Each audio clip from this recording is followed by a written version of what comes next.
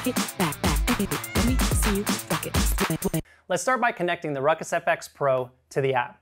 Here you can pick any section. I'm going to start with tracks. I'm going to turn on the device and it connects automatically. Now I've unlocked everything in the app.